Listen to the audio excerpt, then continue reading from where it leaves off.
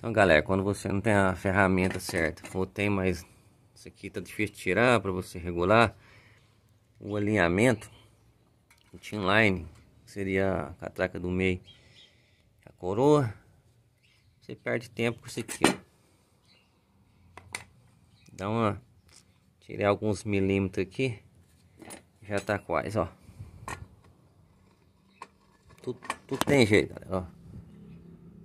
Tá quase. Mais um 2 milímetros termina.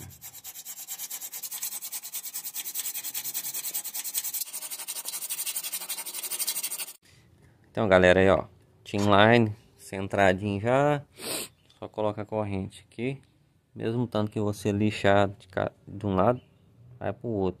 Questão de 2 milímetros, você tem que gastar, o eixo continua resistente, mesmo jeito.